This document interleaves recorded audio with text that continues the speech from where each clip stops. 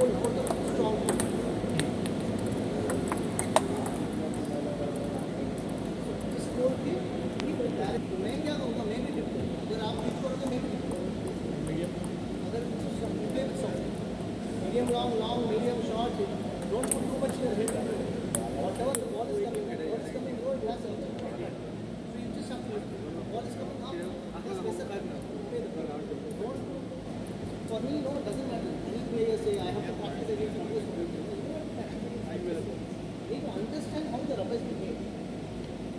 Cut गया तो भूल जाता है टॉसिंग किया तो कट जाता है कितना कट आता है कितना लिखना तो So basically, I need to understand the sense of push. I need to understand the sense of counter. I need to understand the sense of this cut. If I have to lift, match with touch it.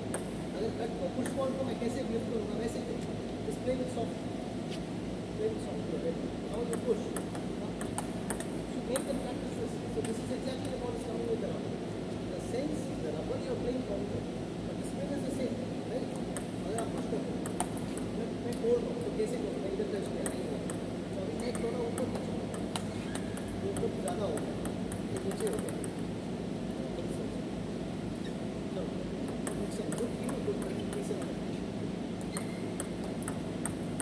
That is touch. So again, I keep my racket above this way.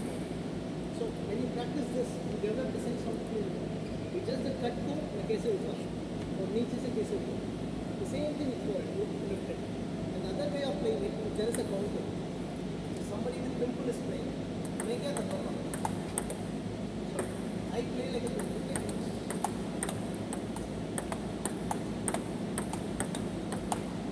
So now, pimple के ऊपर मैं pimple के रखे सीधा करके मैं भी lift I also do this. When this happens, वो क्या होता है?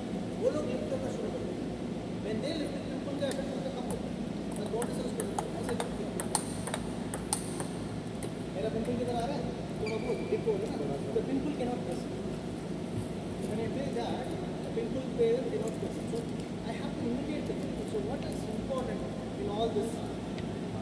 what is important is the racket angle, like we said yesterday, and the racket should be in front of my elbow, above my elbow, in front of my face, below my shin, and I touch the ball here. Normal ball I touch here, I put ball, I punch that. I touch it form, keep my wrist form, my elbow form, and then with very less backswing, give it a punch.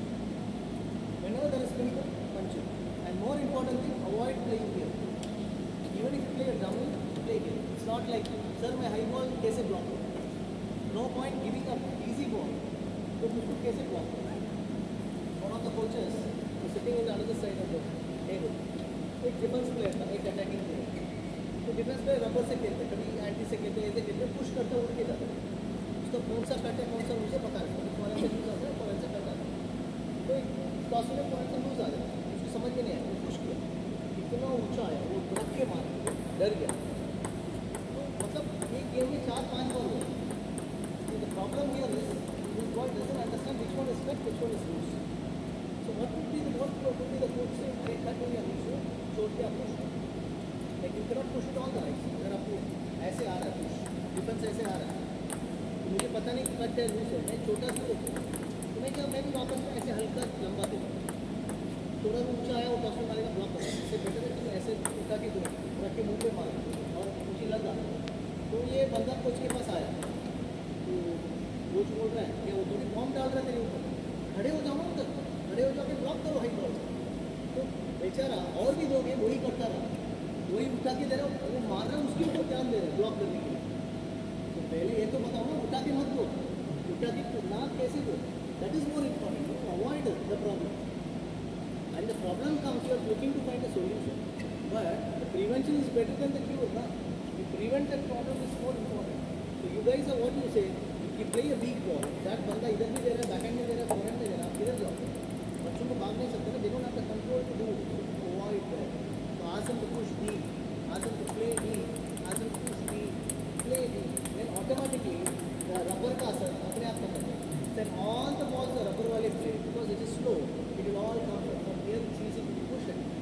Only when they do this, so rather than saying finding a solution to play that ball, play first avoid playing that ball.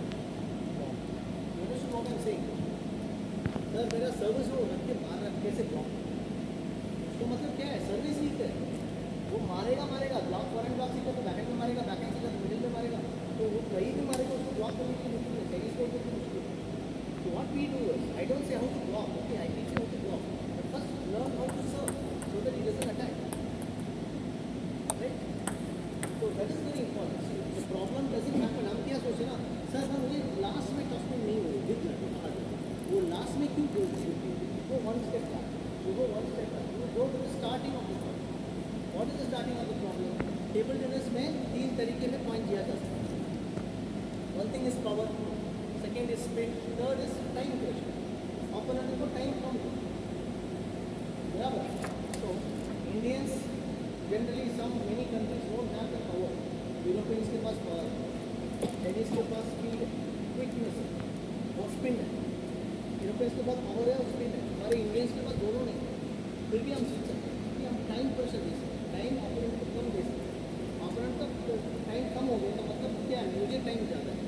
मुझे time ज़्यादा है तो कौन सा अच्छा player है? जब उसके पास टाइम अगर मैं उठा के दूँगा then you are very good player right you can hit any अगर मैं जल्दी दे दूँगा, ऐसे मार दूँगा then you are not a good player because you can not play that so I have generate more time I need more time to play means I have to give you less this is what we don't understand. We think we play a weak ball, we give them a lot of time, then we try to catch it, then we cannot catch up. See, the sequence goes like this. If I am doing a weak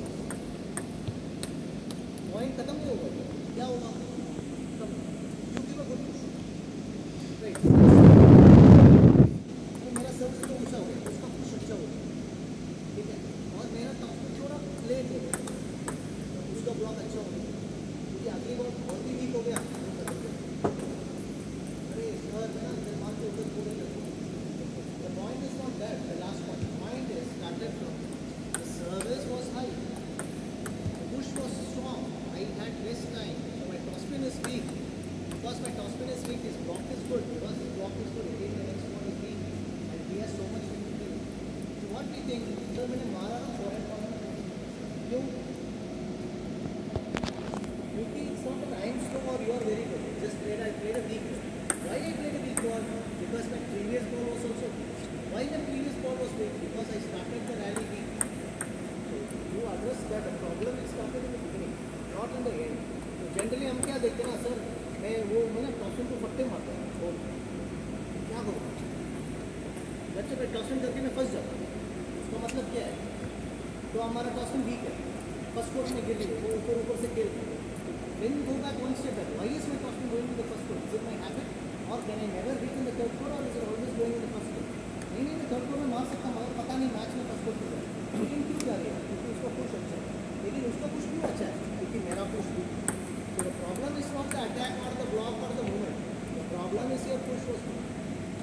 the starting of the problem, the rally starts. The rally starts with service. The rally starts with receive. अगर ये दोनों week हो गया तो धीरे धीरे धीरे सब कुछ वीक हो जाएगा it's fraction of a second the next ball the fraction of a moment it's matter of time you lose the you might lose it in the first rally or you might lose in the fifth rally doesn't matter मारना तो हाथ लागू पड़ता है क्योंकि हमने शुरू ही खराब किया तो ऐसे खेलेंगे तो एक only one of two out of ten will because we are not dominating so starting with good service अगर मैं अच्छा सर्विस किया तो मुझे वीक मैं बुरा सर्विस किया रिटर्न स्ट्रॉन्ग मेरा रिटर्न वीक हो आपका रिटर्न स्ट्रॉन्ग स्ट्रॉन्ग वीक हो इसका is just a reflection of what I is not superior or inferior. Opponent is just a mirror. अगर मैं वीक खेला, उसका स्ट्रॉन्ग हो